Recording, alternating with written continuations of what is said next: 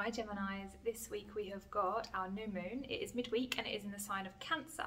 And so usually Cancer moon is um, is very positive because the moon is ruled by Cancer and this is a time for self-care and slowing down and mothering and nourishing and nurturing. However, we do have some difficult uh, aspects to this new moon which are Black Moon Lilith is conjunct the moon and Jupiter and Chiron in Aries are square the moon.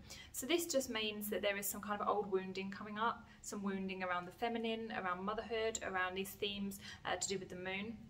And so there is a real need for us to take even more care of ourselves. Um, and in particular for you, there is a need to really ground yourself in something earthy. So if you're getting a little bit too stuck in the mental side of things and you're overthinking something, or there's a lot of um, maybe impulsive feelings coming up out of nowhere, then this is a sign that really um, you're kind of ungrounded and that you need to find your center again. And then that will actually lead to better communication.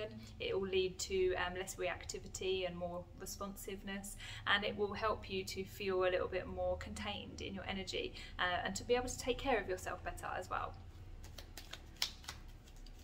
So we have got here the Ace and the Two of Wands. So for some of you, um, you've got some inspiration coming to you and that's going to help you to know what your next step is.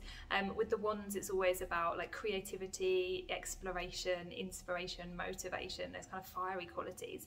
Um, and so here we've got uh, a need to really try and yeah ground yourself so that you can hear that inspiration and so that you can feel that motivation and then you can go after it you know you you can only really um, motivate yourself when you are centered and when you know how to kind of uh, balance your energies and when you are ready to listen and ready to heed the call of the inspiration and then you can go after it but if you're kind of like here there and everywhere you're inconsistent, then it's very difficult to hear true creativity and true inspiration and true truly motivate yourself. So make sure that you find your center and ground yourself um, and then you will surely this week have some inspiration coming your way.